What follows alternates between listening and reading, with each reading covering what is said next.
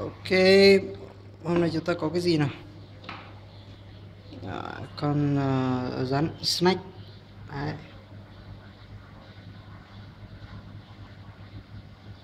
con này mới lột ra xong. Nên là xem nào cho anh chụp cái nào. Ui ấy trời ơi.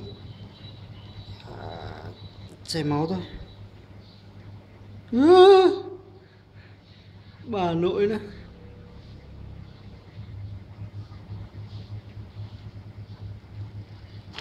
Uh. lại cắn thêm phát nữa vào tay này. Đấy, chảy máu rồi đây này. Nào nào nào nào. Tiếp cận là sát khuôn mặt là khó chịu của nó này rất là hung hăng. Con này là rắn sao châu ui! Người không cần chúng anh đâu ui.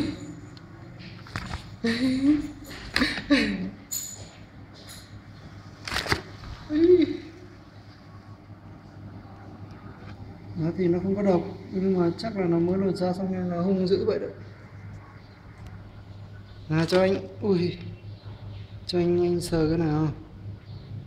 Cho anh ui sờ này ha, ha hà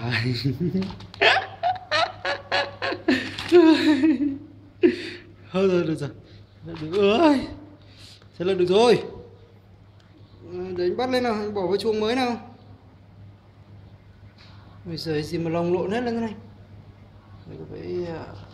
rồi chụp lại nó là này là ok rồi đấy, đấy ok. Đây này. Đấy snack đấy.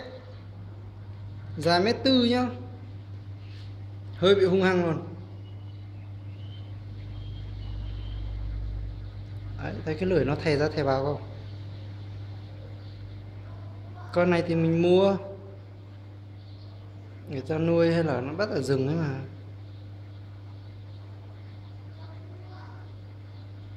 Đấy.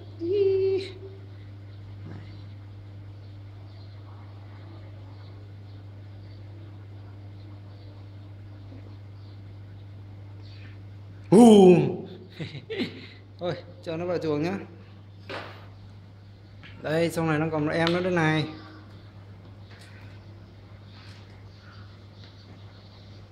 Đấy trong này đang còn một em này gặp nhau nè. Hai đứa gặp nhau.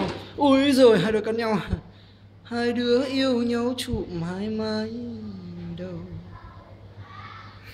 Thôi thôi thôi, tắt camera để mình bỏ nó vào nhá.